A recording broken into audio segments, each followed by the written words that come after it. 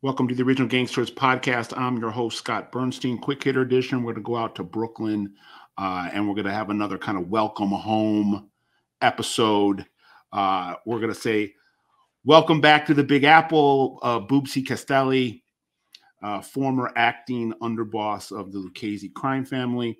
Uh, this is a, a, guy that's kind of uh, been all over the map in terms of in the uh, Lucchese pecking order uh, rank and file. Uh, he's been a soldier, he's been a capo, uh, and uh, he's also been an acting underboss younger uh, in his younger days. Uh, he went to prison about four or five years ago on a, a racketeering bookmaking case, and he was listed as a soldier.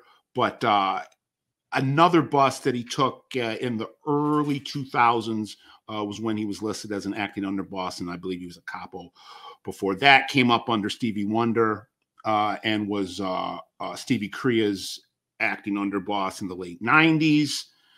Uh, we'll see where he fits back in. Uh, there's, you know, a lot of talk about, uh, I don't want to say a, a major shakeup, but we heard recently via John Pennisi and some of my reporting that it looks like Patty Dellorusso uh, went from uh, underboss, and now it seems like he's consigliere, and Georgie Neck Zappola uh, could be in the uh, acting underboss spot right now with Big Mike DeSantis as uh, at the top of that pyramid as the, as the acting boss with uh, Little Vic Amuso in prison as as, as the Godfather.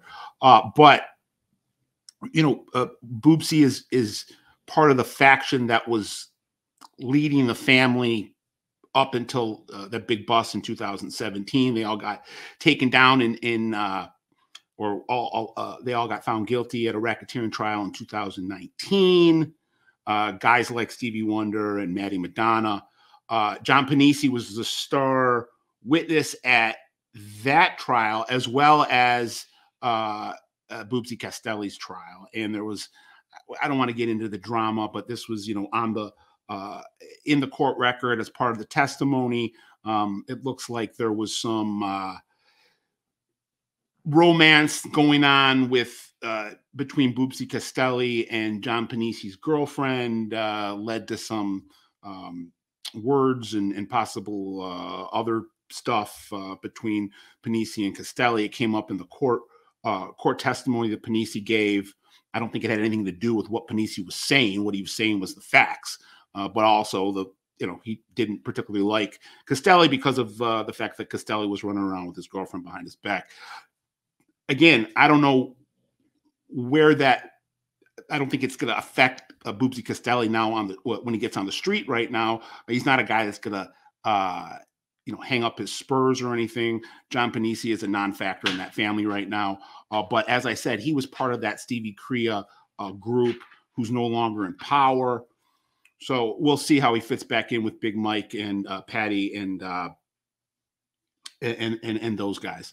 But uh, uh, Boobsy Castelli, uh, bodybuilder, uh, a guy that's uh, known as a, a, a, partier. I believe he got arrested at one point, and, and the cops uh, uh, caught him smoking a joint when they collared him.